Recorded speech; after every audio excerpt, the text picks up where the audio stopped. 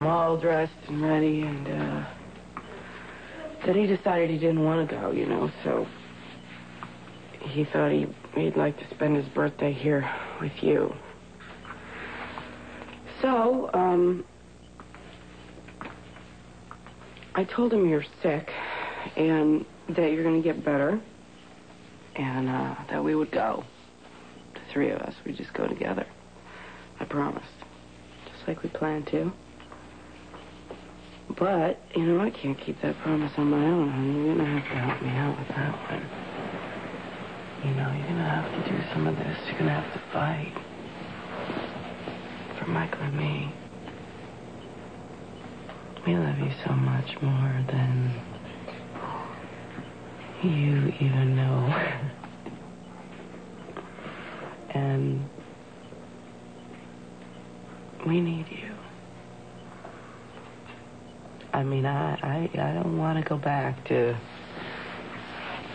who I was before you came into my life. I don't want to be lonely. I don't want to be angry because nobody accepts me for who I am. I love you. So wake up. Okay? Please. Can you hear? Can you give me a sign, something? Let me know that you can feel how much I love you. Hey, baby. Happy birthday. Told him we could only stay for a minute. Oh, that's okay. You know what? Uncle Sonny's still sleeping, but, um, you want to hold his hand? Huh? Hey, like that. Let's sit down right here. Careful not to touch him, okay? I'm Just gonna touch his hand. Like that. Here, you want to hold his little hand? Here, you want to just touch his hand?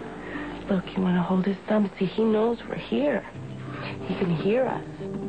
And if you hold his finger, then maybe he'll be really, really happy and and maybe he'll wake up. And you'll get to see him open his eyes. You want to try that? Want to hold his hand for mommy? Want to squeeze it really tight right here? Can you touch him? Yeah, it's okay. Uncle Sonny's okay.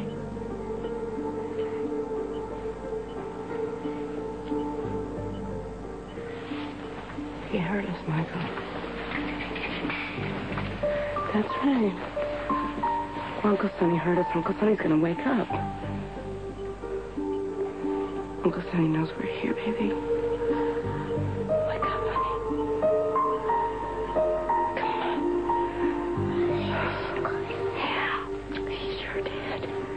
Right. We're here, Sonny. Your family's here. We're waiting for you.